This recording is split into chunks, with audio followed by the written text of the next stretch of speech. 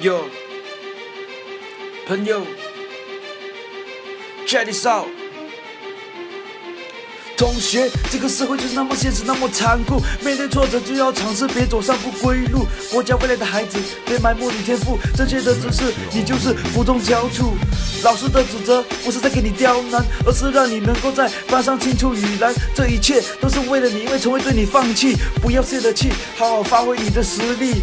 你的一切，你的梦想，就被湮灭。你的痛苦，你的无助，没地方发泄。每个人的出发点本来就不同，未来的一切都在你的掌握之中。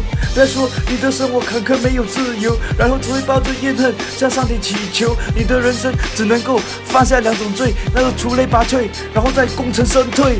男女之间渴望爱情本来就没输赢，不要为了一朵花而放弃整片森林。充实自己才能够让自己前进，不要让下个爱你的人为你你伤心。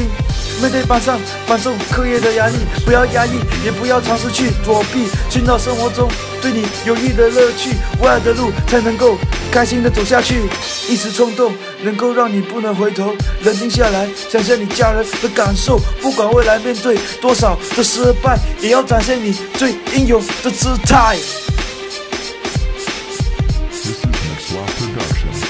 张老师在你无助的时候能给你安慰，这种关怀和关爱根本不用收费。张老师在你需要的时候和你相依相偎，这种爱护和呵护无人能体会。在这里，张老师能给你所有的爱，在这里你能不用站在原地徘徊，在这里你可以看见你的美好未来，在这里你的生命就会变得光彩。张老师能够随时帮助您，请拨打热线一九八零。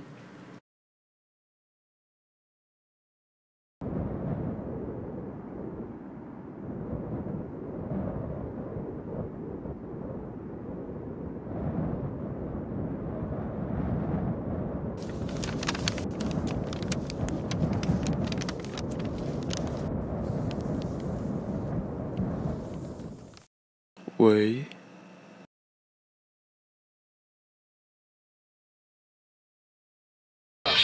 啊？